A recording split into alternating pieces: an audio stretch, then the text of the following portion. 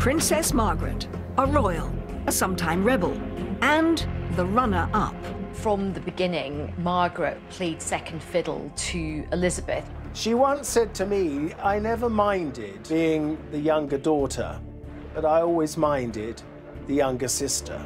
But there was one place, 4,000 miles away, where Princess Margaret came first.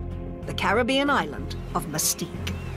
On Mustique, everyone treated her as if she was the most important person in the world. She was able to do things there that she couldn't possibly do at home. I think it did revolve around her. We always wanted her to enjoy herself. In this programme, Princess Margaret's lady-in-waiting and closest friend, Lady Anne Glenconner, reveals what life was really like during their times together on the island.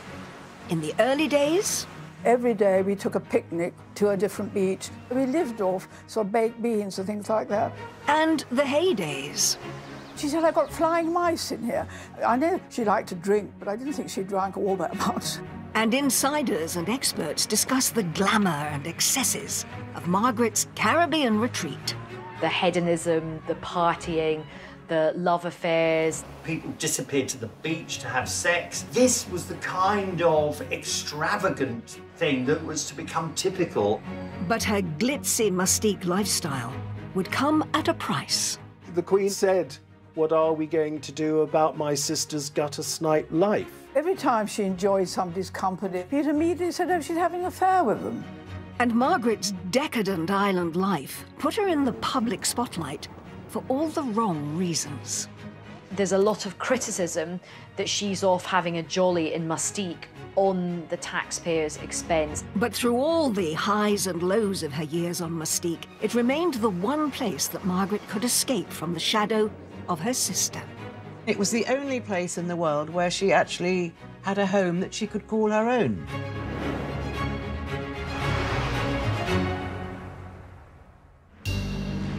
January 1976. Princess Margaret arrived by private plane on the beautiful and secluded Caribbean island of Mustique. She was here to celebrate the 50th birthday of a close friend. But she was also escaping. Back home, Margaret's marriage to Tony Armstrong Jones, or Lord Snowdon as he was also known, had broken down. He'd had numerous affairs, and Margaret needed to get away from London and from him. And Mustique was the perfect place. Tony became a serial adulterer. What started the rumors about your marriage? You know more about this than I do, I'm afraid. The media were already making much of the breakdown in the Snowdons' marriage. It wasn't just the media who were concerned. Her sister, Queen Elizabeth, had reached the end of her tether. The Queen had said to Prime Minister James Callaghan words to the effect of, What are we going to do about my sister's gutter snipe life?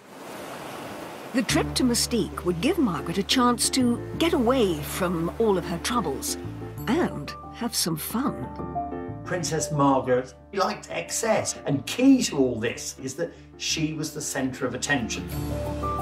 The island was owned by Colin Tennant, later known as Lord Glenconner, who had bought it in 1958 for £45,000. He'd always had this dream about having a proper island, I think.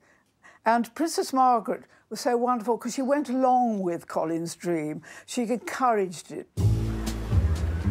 Colin and Anne Glenconner had always been part of Princess Margaret's social circle.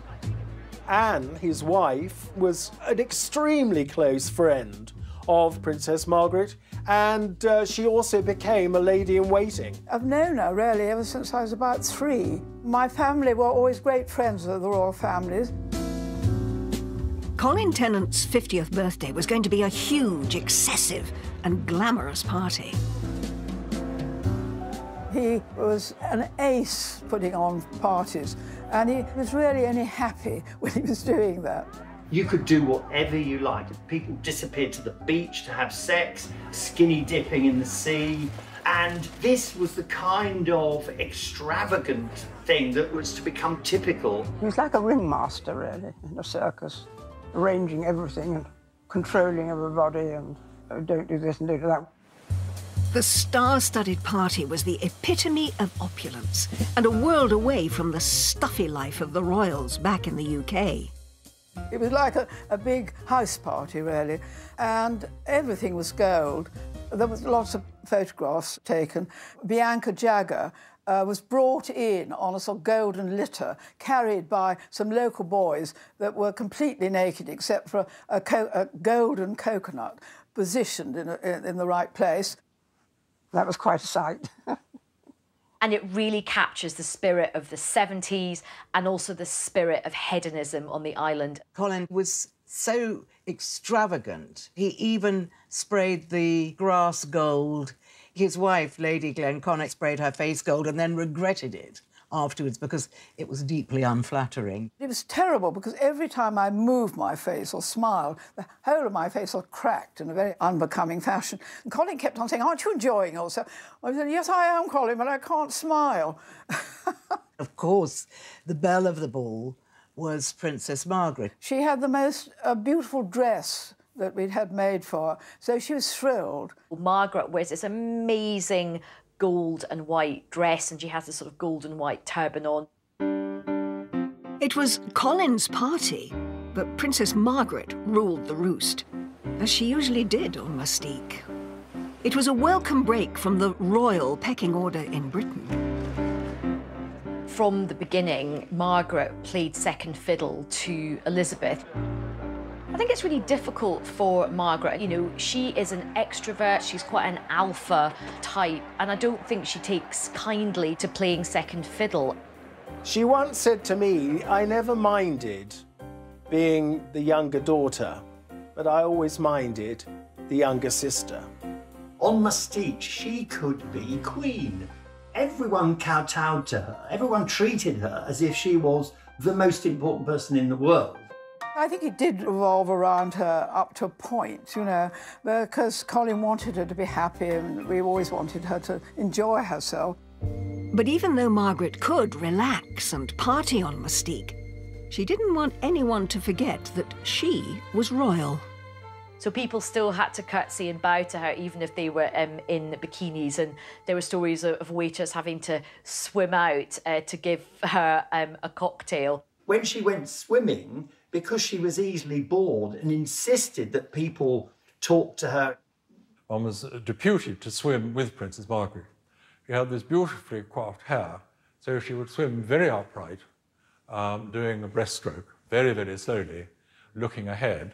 And then I developed a sort of side stroke where I could keep up with her, doing a sort of doggy paddle with, with one hand. By the time of Colin Tennant's party, Mustique had become Margaret's very own pleasure kingdom, a centre of glamour and excess, and a refuge from her troubles back home. But when she first visited, back in the early 60s, life on the island was shockingly different.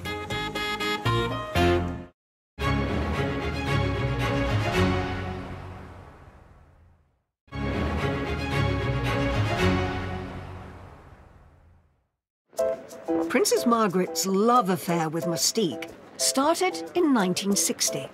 She first visited the island during her honeymoon tour of the Caribbean with her husband.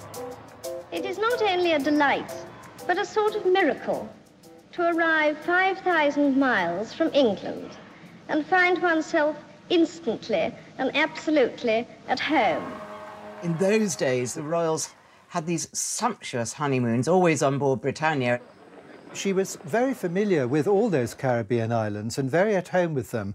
And the Caribbeans really liked her and kind of understood her. During the trip, Margaret's good friends, Colin and Anne Tennant, invited the couple to visit the island that they had just purchased. Two square miles of Mustique. I mean, the Britannia is quite big. It was nearly as big as the island, and it had to anchor quite far out. Uh, then suddenly I saw a little boat being lowered. And there we were on the beach, looking pretty sort of scruffy, and these immaculate-looking sailors got out of the boat with a letter from Princess Margaret saying, um, you know, we've arrived, we long to see you. Mustique in the early days was very different to the other Caribbean stops on the royal tour.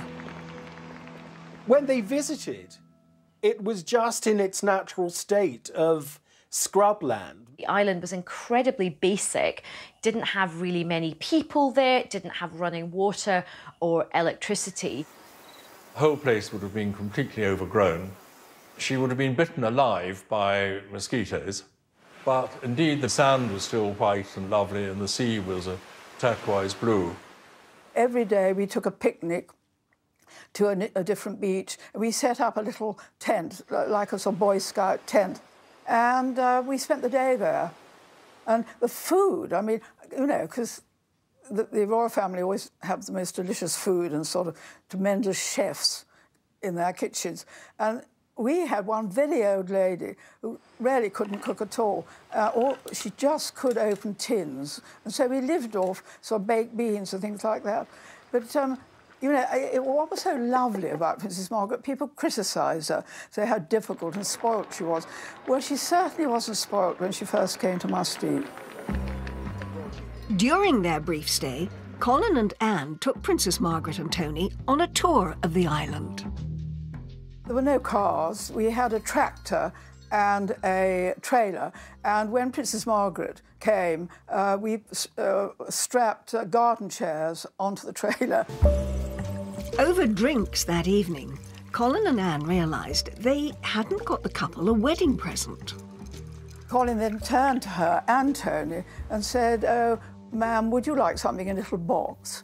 Um, or would you like a piece of land? And she said, Oh, I think I'd love a piece of land. I think he was quite surprised when she turned around and said yes, because I think he thought it was so wild and it was so remote and it was so you know, far away and difficult to get to, that he didn't think she would sort of take him seriously and take him up on it. Princess Margaret fell in love with the tiny island of Mustique, but her husband didn't. Tony didn't greatly care for the Glenconners, so far as I understand it, and the land was given as a wedding present to Princess Margaret. It wasn't given as a joint wedding present. I mean, he wasn't interested at all. That was really the only time he ever went there. As Margaret left the little island that she'd fallen in love with, she had no idea when she'd be back.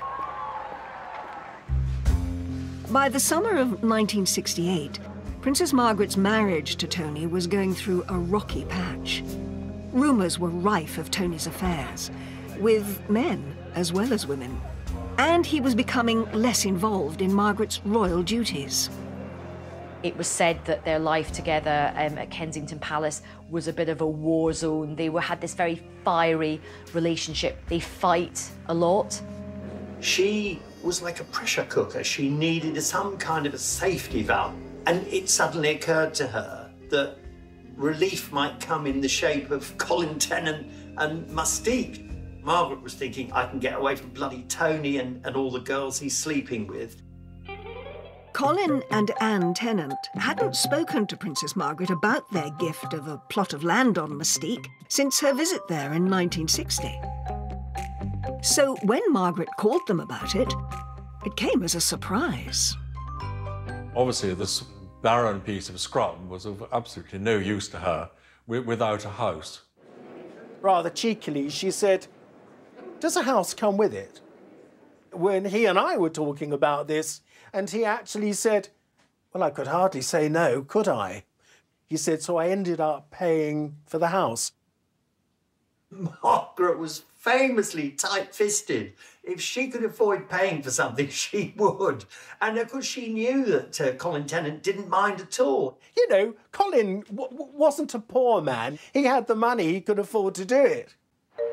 Towards the end of 1968, Princess Margaret flew out to Mustique to start making plans for her Caribbean home. Colin and I were very nervous about having to stay because, you know, I mean, she had been used to being, you know, living at Kensington Palace and Windsor and um, Sandringham and Balmoral, you know, and there she was going to stay. And at that time, our main house had burnt down and we were living in a sort of prefab. I mean, uh, it was really, really simple quite a journey to get there. You had to fly to Barbados and then fly to St Vincent and then had to take a boat. The sea is very, quite treacherous there, actually. It could be very choppy. The island was pretty wild still at this point. She just got stuck in. Roughing it on Mustique in those early days did mean just rigging up a sort of Heath Robinson contraption of a shower. She had to go outside, stand under a tree where we had a bucket. the bucket had holes in it. They filled up the bucket and uh, she stood underneath. And the water was like the water in Scotland. She probably recognised it from the Balmoral area. It was, it was orange. you know, there was so much clay in it. There's a story about how at night these huge mice start to try and sort of throw themselves um, at the mosquito net. I always remember the first time she went to her room to bed and I was sort of tidying up somewhere, and I suddenly heard her calling me, Anne, Anne. I thought, oh, heavens, what's the matter? Went to her bedroom, and she said, I've got flying mice in here. And I said, Ma'am, I know she liked to drink, but I didn't think she drank all that much. But it was quite true. There were these tiny mice, and they ran up the mosquito nets and jumped from one, because there were two beds in her room, from her bed onto the other one. And I think she told the Queen, who simply didn't believe her, because I remember when I then next saw the Queen, she said, Margaret had the most extraordinary story about flying mice. And I said, well, actually, it was true. There was no easy way for Princess Margaret to get to her plot of land, so she was forced to walk up to it. They had to trek along narrow paths where um, she might easily have got the royal legs scratched a bit. We dressed her in Colin's pyjamas. We tied string round her ankles and wrists, and out we went to find where we thought she'd like to build a house. So we had this wonderful picture of um, of uh, the Queen's sister in uh, what presumably were oversized pyjamas, uh, trekking over this very rough territory in very high temperatures. It's perched up very high with a wonderful view over the sea uh, below, the, the bays and things. And so it must have been heaven to be up there. When Margaret saw the land, it said she wasn't totally happy with the size of it. He suddenly saw her taking the pigs out and disappearing off into the jungle. And Colin said, What are you doing, ma'am? And she said, Well, I think I need a bit more land. Uh, so Colin said, Why? And she said, Well, I've got to have gatehouses for my security. She was very keen to have um, Oliver Messel design the house, partly because she loved his designs. He was a, I mean, he was an eminent theatrical designer, and she'd seen his house on Barbados and loved it. It is extraordinary that as Princess Margaret demanded more and more, she demanded perfection when the house was being designed. Um, I don't think it ever occurred to her to offer to pay for, for some of the work. As work on Margaret's house got underway, Colin Tennant picked up the bill for everything. And soon, the princess realised that her new house could be the perfect place to invite her gentlemen friends. It was a very discreet spot if she wanted to bring any lovers there. I think it was more because she needed to feel better about herself. She'd been rejected effectively by Tony and she didn't like it. One of the most persistent of Mustique rumours was that Princess Margaret met and had a relationship with a guy called John Bindon. Margaret first met John Bindon when he was on holiday on the island. He is supposed to have uh, shown his party trick to Princess Margaret. Apparently, John Bindon was famed for being able to lift a pint glass uh, with his member. The last thing Princess Margaret was was a prude, so she'd have loved his party trick and she'd have laughed. There was a photograph of them together, not not in any compromising situation. But of course, the rumour mill went into overdrive, and there was lots of speculation that they were having this clandestine, illicit affair. He certainly boasted about it, and he and he talked quite vividly about his uh, affair with with Margaret. But maybe that was just him. But certainly the story took legs, and subsequently there have been several films made about it. John Bindon's wasn't the only name romantically linked to the princess. Margaret was photographed with many men, like this one, where she looks captivated by the front man of the Rolling Stones. Mick Jagger was persuaded very early on, and apparently by Princess Margaret. He was persuaded to buy a house on Mustique, which he still has. Princess Margaret was great friends with Mick, and of course, of course, they'd lived on the island together. People said they had an affair. It's absolutely untrue. Every time she enjoyed somebody's company or laughing with them or dancing with them, Peter immediately said, oh, she's having an affair with them. And absolutely untrue. There were always tons of rumours circulating about what was happening in uh, Mustique because it was such a party island and everybody did just mix. Everybody would go to each other's houses. Princess Margaret's house was finally completed in February 1972. It had four bedrooms, a swimming pool, and stunning views over the coast, as seen in these images from the ITV programme Wish You Were Here. Princess Margaret christened her holiday getaway Les Jolies Eaux, Pretty Waters. It was most often described as a villa, the princess's Caribbean villa. And she didn't like that. She said, a villa? It's not a villa. It makes it sound like something you'd find in Brighton. She said it wasn't a villa, it was a single story house. It was amazing that um, she built a house, and that, of course, encouraged other people to come. Interesting thing is, it was really her, the only home she ever actually owned, because in London she lived at Kensington Palace, which is not, you know, which was just where princes and princesses live, but they don't own those places themselves.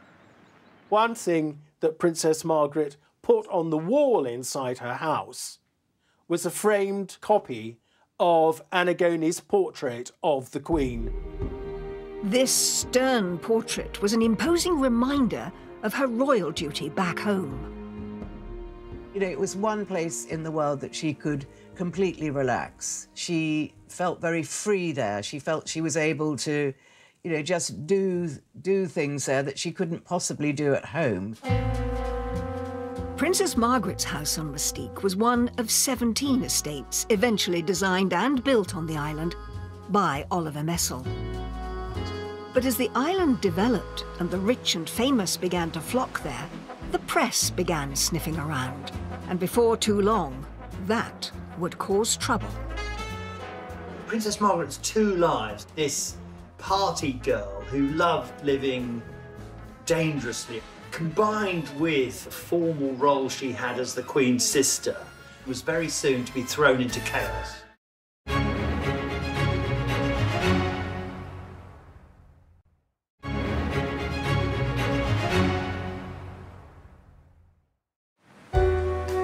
Mustique had become Princess Margaret's special hideaway, not just from her royal duties, but from her marriage too, which was now in serious trouble. She was very angry about the allegations of, of his indiscretions. So I think she decided that she needed somewhere that she could escape to. But it wasn't just Lord Snowdon who was having affairs. The princess now was seeking solace of her own outside the relationship, and word had reached the palace. The Queen would have known about the rumours surrounding her sister. She would have got involved because we know the Queen has always worried enormously about the reputation of the royal family. But also, we have to take the, the, personal view. The Queen has always been very protective of her sister. And there was one relationship in particular that had been noticed. It began in 1973 when Princess Margaret met Roddy Llewellyn. Roddy Llewellyn was, was originally produced as a sort of spare man by Anne Glenconner at a house party in Glen. we were at Glen in Scotland, and it so happened that uh, some young man dropped out, and we wanted to uh, get the numbers straight. And I said to Colin, What are we to do? And so he said, Well, I've got an aunt called Violet Wyndham. She was called Aunt Nose because she had a very big nose and knew everybody in London. So I rang her up and I said, by any chance, do you know anybody that might like to come up? And uh, she said, well, actually, as it happens, there's a young man called Roddy Llewellyn. I think Princess Margaret knows his father. And it just was, you know, I suppose love at first sight. The princess herself was desperately unhappy. Meeting Roddy gave her back everything. They got on so well. They used to sit in the drawing room playing cards together. And, and I, I remember going for a walk quite early on with Roddy, and he said, oh, he said, Princess Margaret's so beautiful. Didn't realise she was so beautiful, uh, her eyes. And, uh, and, I, and I just said to him, perhaps I shouldn't. I said, well, Roddy, you tell her, not me. I think Roddy's vulnerability appealed to Margaret. Also, he was very good looking. He was like a taller, better looking version of her husband.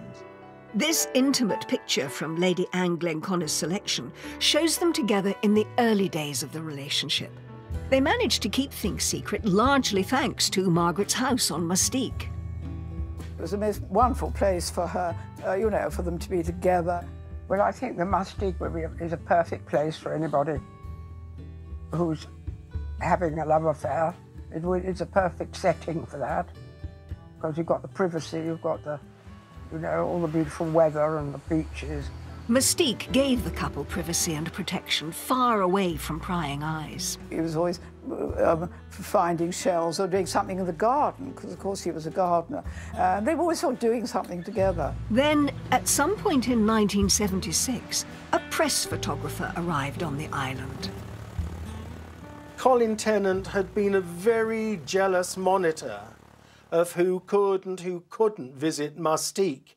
But he had at some time then decided it was good for business to have upmarket groups visit the island. But in 1976, unknown to anybody on the island, one member of the group that had been allowed to visit was one of Rupert Murdoch's employees, uh, an Australian journalist and he sees the moment with his long distance lens. The photograph was taken, it was sent back to London. So the relationship became public knowledge. The photo, published in the News of the World, stunned Britain. It's pretty evident that they are in an intimate relationship and they're very, very close to each other. You can just tell that from the body language. But I think it was a pity it got out, you know prying into people's privacy. That, well, that's what the press do, don't they? The photo of Roddy and Margaret gripped the nation, and the press went into a frenzy. Lord Snowdon, Princess Margaret's husband, was overseas at the time. I'm uh, naturally desperately sad in every way he, he was furious because it, it, he looked like he'd been cuckolded by a younger man, and that didn't appeal to his vanity. Lord Snowdon, is there any hope of a reconciliation? Thank you, Lady It gave him the opportunity, in a sense, to look slightly like the, um, the wronged husband, which, of course, was very far from the truth. It was the final straw, really, in the marriage because the following month, in March of 1976, uh, Princess Margaret and Lord Snowdon officially separated. Although Margaret had endured years of infidelity, the public and the press now turned against her. In a sense, it opened the floodgates to press criticism and, and general criticism of, of the royal family. And once the press realised that they would sell more newspapers if they wrote about a princess behaving badly, they were on the lookout ever after for princes and princesses who were behaving badly. This ushered in, I think, a greater level of press intrusion into the royal family. After the images of Roddy on Mustique emerged, Talk turned to the possibility of the first royal divorce in four centuries. It was a bruising time for Princess Margaret. She had lost public support because I think people were quite horrified by the Roddy Llewellyn affair. So, you know, her rating with the public ha had fallen hugely. Once again, Margaret turned to her sanctuary, Mustique. Margaret's separation had put pressure on her relationship with her sister, who'd always hoped that the marriage could be saved. But in 1977, the Queen paid a visit to her sister on Mustique. The Queen was on a Silver Jubilee tour of the Caribbean. She still had the Royal Yacht Britannia, so they were able to pay Princess Margaret a visit. Margaret was absolutely delighted when the Jubilee tour of 77 brought the Queen and Prince Philip to Mustique. I mean, she'd been longing to show her sister her house. You know, Colin was so excited to have them there, of course. Well, we were all absolutely thrilled, I can't tell you. Uh, Colin nearly uh, fainted with pleasure, but he thought he'd never get the Queen to come to Mustique. And, but uh, it was tremendous. Anwar Hussein was one of the few photographers permitted to capture the extraordinary moment. The Queen visited her sister on the island.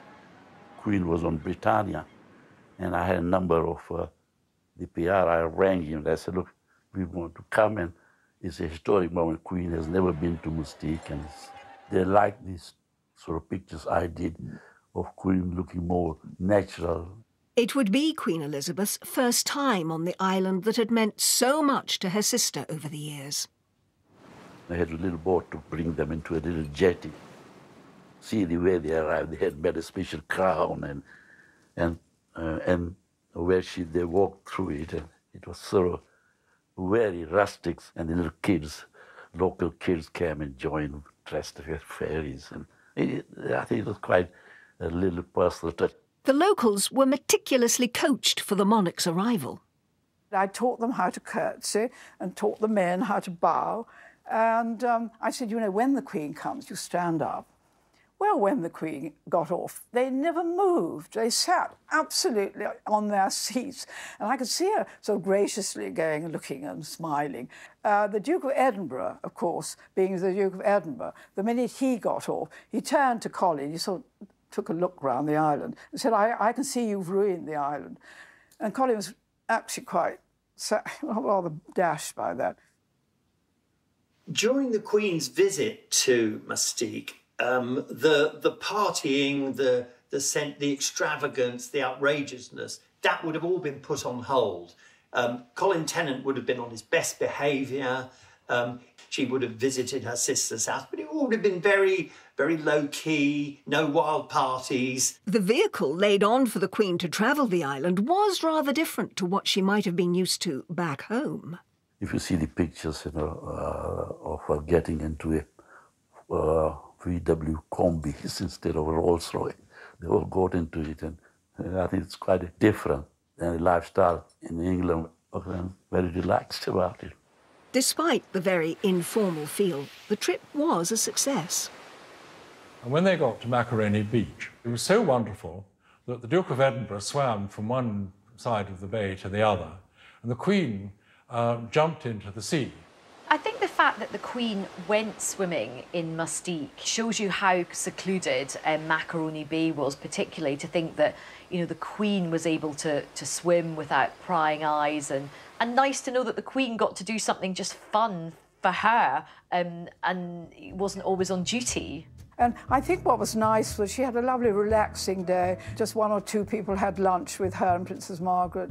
Colin and I did, obviously. Um, and she had a, a, you know, and she went round the island and, I, and she, you know, I think really what she was so pleased about was that Princess Margaret was so happy. It had been a moment of lightness for Margaret and her sister during a difficult time. The year after the Queen's visit to Mustique, Margaret's divorce from Lord Snowdon was finalised. It was a significant moment in royal history. The Queen's reaction, of course, understandably, was one of concern because she'd always wanted Princess Margaret and Tony to make the best of the marriage, to patch it up. She didn't want divorce uh, within the family. If Margaret thought her divorce would draw a line under things, she was wrong. The public and press remained hostile, and soon they were baying for blood. Of course, at this point in British modern history, the country is going through a very, very difficult time. And there's a lot of industrial unrest, um, you know, there's a lot of poverty, there are strikes, and there's a lot of criticism that she's off having a jolly in Mustique on the taxpayers' expense. I think there ought to be a cost benefit analysis of the royal family expenditure on income. Two MPs rounded on Margaret as a parasite royal, having a good time on the public purse. Dennis Canavan and Willie Hamilton were two of Princess Margaret's most vociferous critics in Parliament, and uh, Willie Hamilton calling her a floozy. I think that Princess Margaret was an easy target for a man like Willie Hamilton, yes, because Mustique is a paradise island and it does have parties, and people uh, don't go there to work, they go there to relax. So you could present it very much as her neglecting her duties. Over the next 10 years, Margaret's royal duties reduced significantly, and she was free to spend more time on the island. But the hedonistic party days were starting to take their toll.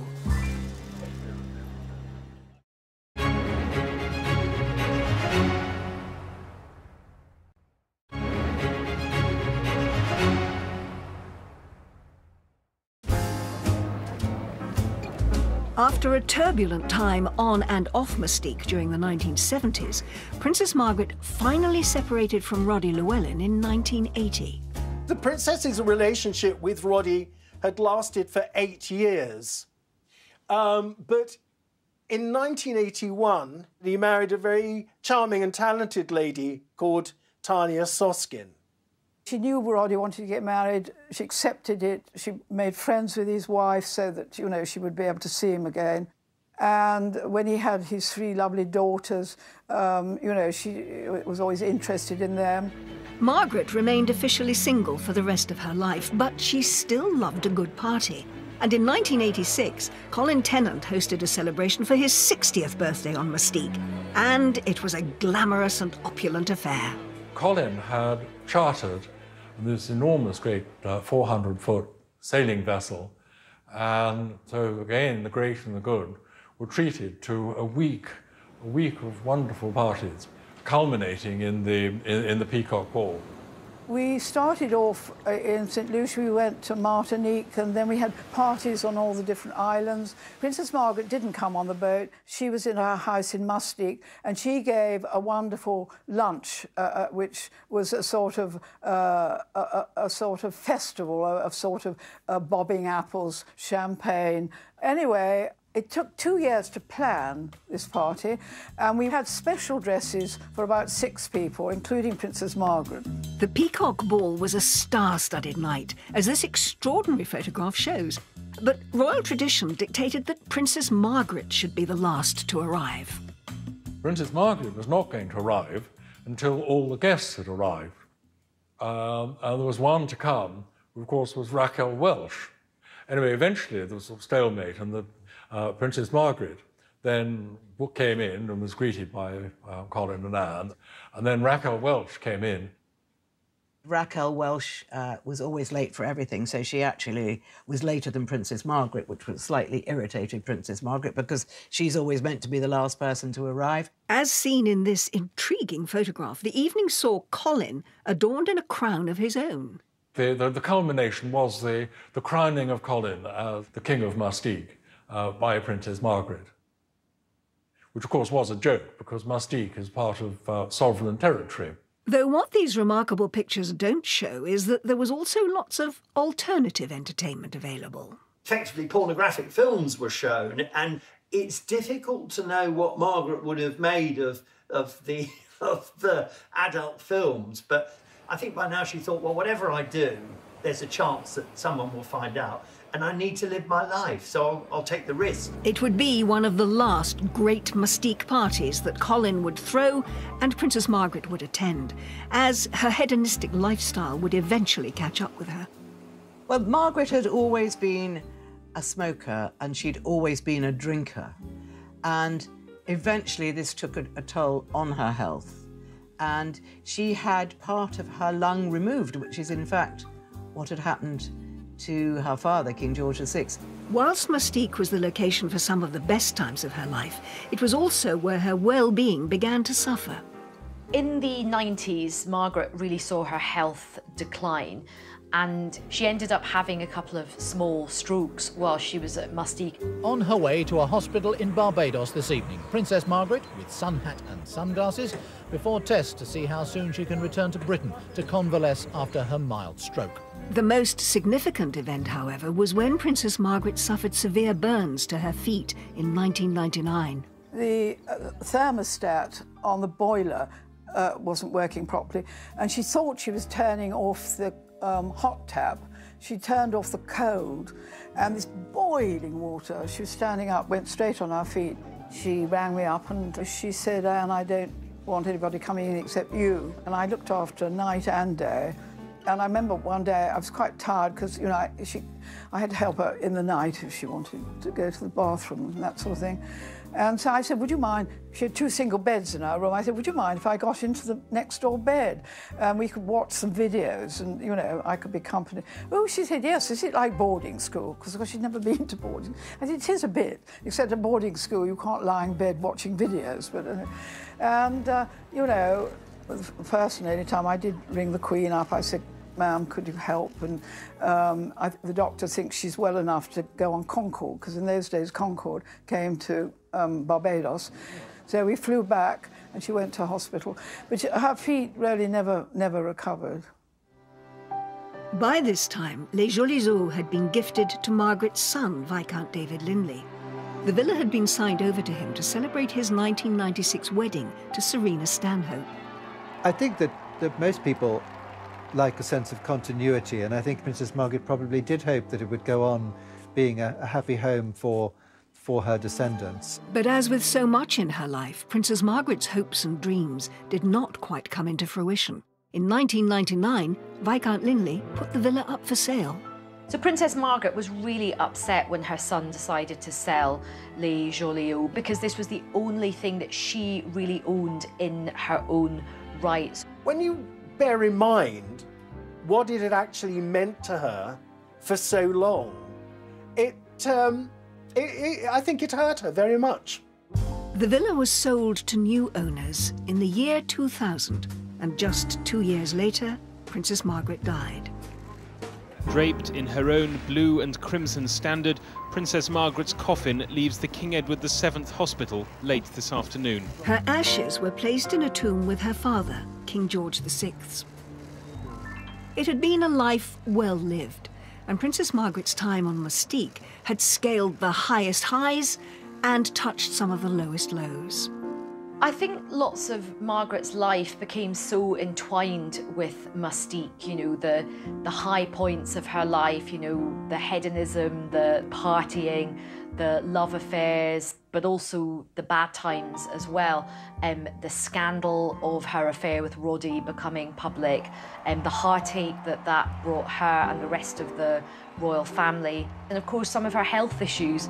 There's little doubt Princess Margaret's life on Mustique did much to change the perception of royalty in the 20th century. She opened up the family, not just to the reality of divorce, but then she also opened up the royal family to the kind of criticism that we saw with Prince Charles, that we saw with um, uh, the Duchess of York and Prince Andrew. Probably none of that, or much less of that criticism, that focus, would have happened but for Princess Margaret's behaviour on Mustique. Margaret's legacy will forever be tied to an island a little more than two miles across, 4,000 miles away. OK, Colin bought the island, Colin developed the island. It became this hedonistic paradise. But it was Princess Margaret that put it on the map. And it was the only place in the world where she actually had a home that she could call her own.